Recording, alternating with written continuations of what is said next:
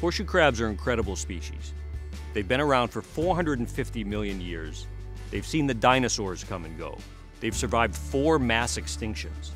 They've been spawning on coastal beaches all that time.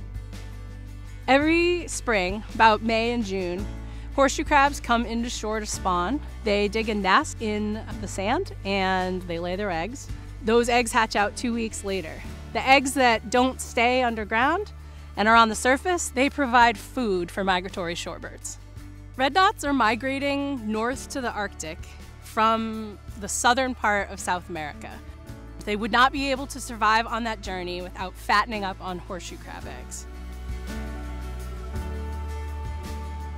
Today, horseshoe crabs are chronically depleted in Massachusetts. In the earlier part of the 20th century, there were even bounties on horseshoe crabs because they were believed to be eating clams that were valuable on Cape Cod. You could get paid four cents a tail for every horseshoe crab that you killed in the 50s and 60s and into the 70s. While these bounties ended, hundreds of thousands of horseshoe crabs are still harvested for bait for the whelk fishery. But today, we have an incredible opportunity, maybe a once in a lifetime opportunity to save the horseshoe crab.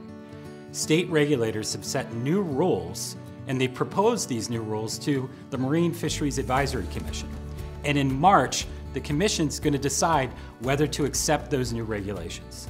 We need you to take action right now to let the Commission know that it's important to the citizens of the Commonwealth to protect the horseshoe crab. Whenever I'm out walking on the beach and doing spawning surveys, people say that they remember when the beaches were covered with horseshoe crabs. We'd love to see that happen again.